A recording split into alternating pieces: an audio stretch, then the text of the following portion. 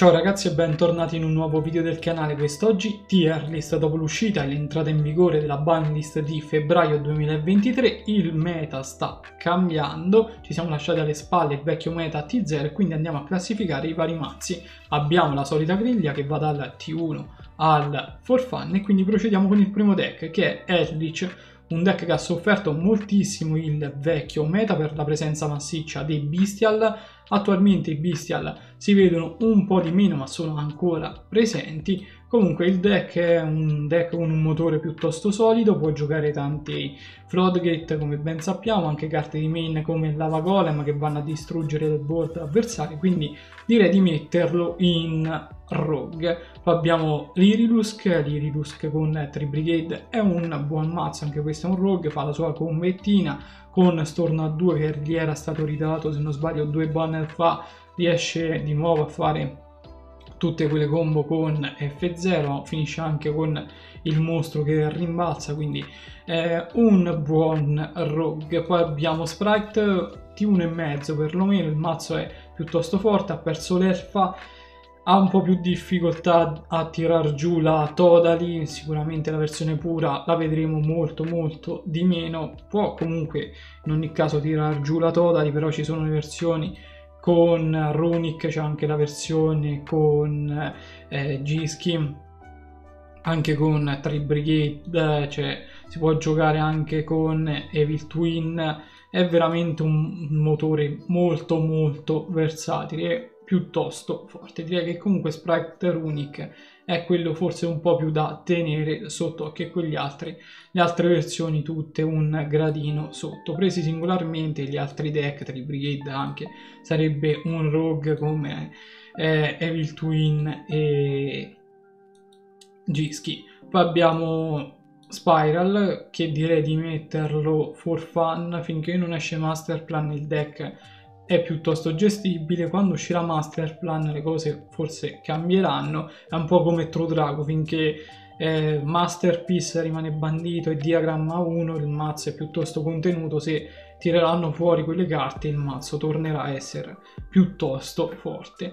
Poi abbiamo Flanderis, Flanderis che è un deck che ha perso la sua win condition più sbagliata, ovvero la statua barriera dell'evento il deck eh, sì, fa sempre l'Empen, Raiza, l'Apex, la cosa forte ancora è la trappolina dell'arpia e direi che comunque lo vedremo molto di meno e lo piazzerei tra il T2 e il Rogue perché il deck non è morto, ha perso semplicemente la sua win condition più sbagliata però tutto il resto c'è ancora quindi tra il Rogue e il T2 per adesso lo metto come migliore dei rogue. Poi abbiamo eh, Despia Branded. Allora questo è un discorso che vale per parecchi mazzi cioè mazzi che erano forti prima del meta T0 quindi con l'ascesa di Tier Lamens poi sono scomparsi quindi mazzi come Despia, anche Swarzol erano forti prima, la loro forza è rimasta invariata e in alcuni casi, come quello di Despia, gli sono usciti nel mentre anche dei supporti, i Bestial, Cartesia, quindi tutte carte che sono andate a rinforzare ulteriormente il mazzo. Un mazzo che ha toppato anche nel meta T0, quindi comunque la sua forza c'era anche prima e attualmente è uno dei mazzi più forti, riesce andando prima a fare delle board devastanti, è forte andando secondi, eh, gioca praticamente tutti i bestial di Meln, da Rebellion a Druisworm a Magnamut ovviamente, è fortissimo il mazzo, forse il mazzo più forte attualmente in circolazione. Poi abbiamo Punk, Punk Therion, è un mazzo particolare da inquadrare perché è un mazzo che si fa la sua commettina, eh, grazie al nuovo sincro di Photon Hypernova eh, riesce di nuovo a fare qualcosa di carino Uh, di solito finisce comunque con due o tre negazioni sul terreno, la baronessa, Regulus, uh, qualche HT in mano perché il deck ne gioca veramente tantissime. Tra il T2 e il Rogue anche questo. Poi Labyrinth io lo metterei addirittura di 1 la trappolina nuova Big Welcome è veramente enorme, aiuta il mazzo sul punto di vista della consistenza, è un rimbalzino dal cimitero, quindi potete andare a rimbalzare carte dell'avversario, il mazzo è veramente piuttosto solido, o T1 o comunque il migliore dei T1 e mezzo, che l'altro T1 è Kashtira per i risultati che sta facendo. A me il mazzo non piace tantissimo, Kashtira. Comunque è un mazzo che è facilmente counterabile. Andando primi, se non lo si interrompe, blocca tutte le zone, banna carte dalla cima del deck, vi banna anche una carta dall'extra deck, però alcuni mazzi riescono bene a contrastarlo. Andando secondi, Kashtira non è poi così opprimente. Comunque, quando va prima e fa tutta la combo, non mette negazioni sul terreno. Gioca shifter, il che è auto win contro parecchi mazzi è in generale un buon mazzo soprattutto per la meccanica particolare la sua peculiarità di andare a bloccare le zone.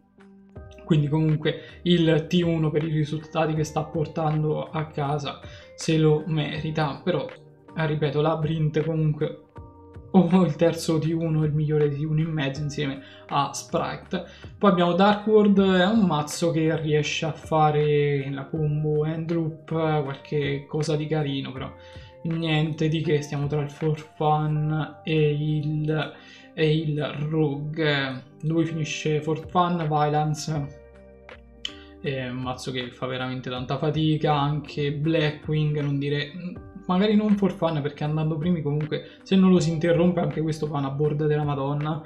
Però andando secondi magari un po' di fatica la fa il mazzo e probabilmente soffrirà parecchie cose che si giocheranno per andare a contrastare questi due mazzi poi abbiamo Ninja carino come Rogue Plunder Patrol primo di due perché T2? Perché il nuovo sincro livello 8, la nave livello 8 luce, è parecchio forte, va a rompere parecchio le scatole ai mazzi più forti del momento, tra cui eh, Kashtira. Tra l'altro, ora che mi è rivenuto in mente con eh, Plunder Patrol che può dare il token a Kashtira e quindi rompergli le scatole, anche Branded può giocare la combo con il discepolo di Ra e quindi andare a mettere il discepolo sul terreno dell'avversario e Kashtira a quel punto non gioca più. Quindi Branded secondo me anche meglio di Kashtira soprattutto quando va primo per Kashtira è impossibile non dico impossibile batterlo comunque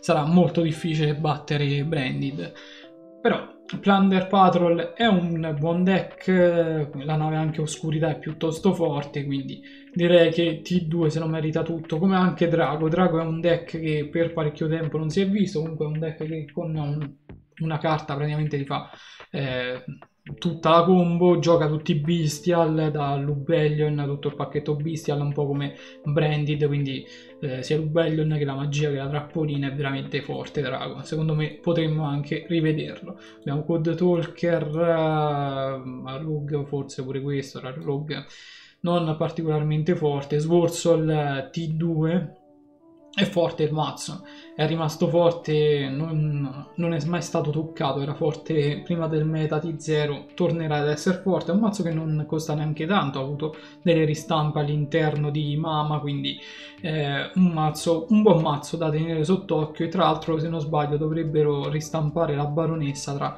qualche tempo, quindi eh, un buon mazzo da tenere veramente in considerazione se non volete andare a spendere tanto e volete un deck che attualmente può dire la sua. Sky Striker è un buon rogue attualmente, può sfruttare molto bene la nuova TTT, la Triple Tactic Trust, è un mazzo che può sfruttare molto bene eh, le altre magie che vanno a contrastare ad esempio Kashtira come i Book perché gli fanno da spell count al cimitero è un mazzo veramente eh, un buon rogue poi abbiamo B-Trooper, For Fun, eh, Mister Classico Rogue, parecchi mazzi Cyberso come anche Salamangrit fanno la loro combattina però facilmente ribaltabile, niente di che poi in particolar modo ad esempio Salamangrit magari andando primo ti fa solo il lupo reincarnato con la trappolina sono mazzi che di solito giocano comunque tanto HT quindi bisogna sempre tenere in mano tenere in considerazione che eh, l'avversario può avere due o tre interruzioni in mano però eh, direi che attualmente non si spostano questi dal rogue. Poi Libromancer anche, questo ha sofferto parecchio il ban dell'Elfa, può giocare comunque il Codebreaker, direi che anche questo finisce tra i Rogue, Endymion, sono un po' indeciso del Rogue for Fun, non sono un grande amante dei pendoli, quindi mm, non so mai come valutarli benissimo, però direi che Endymion non sta messo bene. Draco Slayer l'avrei messo sicuramente uno o due gradini sopra. Poi lui Rogue, Synchron finisce direttamente in For Fun, è un deck divertente da giocare tanto divertente però muore veramente da un'interruzione tirata bene il Nibiru lo devasta ci sono tanti modi per ribaltargli la board è un deck carino da giocare così poi abbiamo Matmec Matmec eh, è un buon mazzo. Forse è il migliore tra quelli che ho messo rogue. Questi qua sono i migliori rogue attualmente credo. Quindi sappiamo tutti quello che fa Mapmec, eh, direi di lasciarlo lì. Gold Pride a me non piace per nulla, lo metterei for fun, c'è la versione con punk che fa qualcosina, però attualmente non lo vedo benissimo. Green Maju la stessa cosa, misto, quindi Dino. Eh, il mostro là, Disaster, che è stato rimesso a 3 o a 2, adesso mi sto confondendo, comunque può dare una mano al mazzo, ma il mazzo eh, soffre tante cose. Io lo metterei comunque come rogue, avendo messo anche rogue altri mezzi che non sono particolarmente forti. Dino riesce comunque a fare qualcosina. Mettiamolo tra il rogue e il for fun, anche questo. Crystal Beast c'è stato un periodo in cui ha fatto qualcosina con uh, l'hype dello structure deck e roba varia, sta messo veramente male. Poi abbiamo Exorcister che era forte perché era un counter a eh, Tier, adesso che Tier comunque è andato piano piano a scomparire, si vede sempre meno, eh, il deck ha perso comunque parte della sua forza, fa le sue giocatine, però anche qui siamo alla presenza di un rogue Tier, c'è la versione Tier Kashtira che è forte, il mazzo ovviamente puro, praticamente o la sua versione con i danger e roba varia non è forte, però quella con Castira è piuttosto interessante, quindi direi di metterlo magari T2. Winda Shadow fa Winda Pass, non è forte, quindi lo mettiamo qua. Shadow con magari usato come pacchetto all'interno di Dogmatica Invoked anche non è che faccia chissà gran cosa, può salire di un gradino ma non più di tanto, ecco non c'è qui, ma Dogmatica l'avrei messo come rogue perché comunque Dogmatica con il rituale nuovo fa una lock piuttosto carina. Mazzo, altro mazzo che adesso parlando di rituali mi torna in mente è eh, Drytron. Drytron è un mazzo secondo me che può anche tornare perché Comunque anche lui fa la lock, può fare FTK, ha sofferto parecchio il vecchio meta, un po' come Edlich ha sofferto parecchio Bestial, però attualmente il mazzo è abbastanza consistente, abbastanza forte, quindi potrebbe anche tornare a fare qualcosina. Abbiamo Scarecrow, la versione pura andrebbe dritta dritta in for fun, però c'è una versione con Brave e anche una versione con Castira che gioca Unicorn, Ferrir e Castira Teusi, o meglio nota come papaglia quella carta. E quelle versioni combinano qualcosina direi di metterle come rogue. Poi abbiamo Orcus che finisce Return for Fun. E l'ultimo ma non ultimo ovvero Adamantia. Adamantia potrebbe essere un buon rogue. È un deck che ti mette giù quelle due negazioni qualche HT in mano pure questo da considerare. Magari riesce a mettere la Raddo della Luce ad arco la Baronessa quindi, cioè, come mazzo non è malissimo, non è neanche fortissimo. Quindi lo dire, direi di metterlo qui. Vado un attimo a ricontrollare la lista. Come già detto, Branded e Castira probabilmente sono i mazzi più forti insieme a Labyrinth che ho messo un gradino in sotto insieme a Sprite e le sue varie versioni anche eh, soprattutto quella con Runic Runic anche preso da solo è un mazzo piuttosto buono, T2 Swarsol, Plunder Patrol, eh, Drago e TR Castira però, la versione TR Castira, secondo me è una buona versione del deck che riuscirà a combinare magari qualcosina. Questi sono tutti i mazzi piuttosto buoni, forse Plunder un pochino sopra perché comunque ha un buon matchup contro Castira, quindi lo, direi di metterlo un filino sopra magari agli altri. E eh, tra i T2 forse andava messo anche Ricca, no, Ricca su Navalon no, forse tra i migliori rogue quello perché andando, quando va primo fa una combo della madonna quel mazzo, però eh, poi andando secondo ho notato un po' che fatica un pochettino, non è un mazzo che tra l'altro ha tanti slot disponibili per HT e roba varia, quindi eh, può giocare però rivalità dei signori della guerra, anche quello è un mazzo un po' particolare da inquadrare, è sicuramente un mazzo decente. Poi abbiamo Rogue con Matmec, Sky Striker, Flanderis, Pantherion. Abbiamo poi, eh, diciamo, questi sono forse i migliori rogue insieme magari a Tree Brigade e Lirillus che poi tutti gli altri diciamo che questi qua per primi sono i migliori rogue e poi gli altri che sono un po' più eh, ah, fanno un po' più fatica rispetto a questi. Ricordiamo che Tree Brigade, Evil Twin e Gischi hanno delle versioni con sprite che sono piuttosto carine. Quindi abbiamo tutta la carrellata dei rogue for fun eh, abbiamo Shadow eh, come avrei messo anche for fun invoked eh, giusto dogmatica l'avrei messo rogue per la nuova versione rituale che è carina poi abbiamo Orcust, Gold Pride, Crystal Beast eh, Synchron, Endymion, Spiral Green Maju, B-Trooper e Binance. Direi che questi sono tutti for fun. A questo punto credo che la tier sia piuttosto onesta, ditemi voi cosa ne pensate nei commenti, se cambiereste qualcosina e noi ci vediamo ad un prossimo video del canale.